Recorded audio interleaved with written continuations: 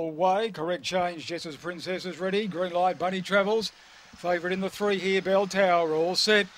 Ready.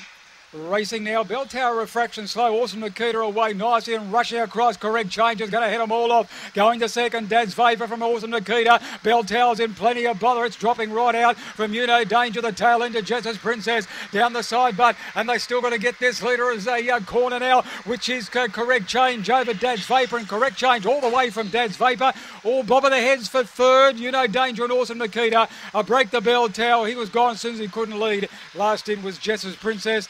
Time recorded third. Mick Player ahead of number one. Six, four, seven, and one. Eight seventy six to first split. Twelve twenty six to run home. Margins of five lengths by a half. Five by a half. Twenty one oh two.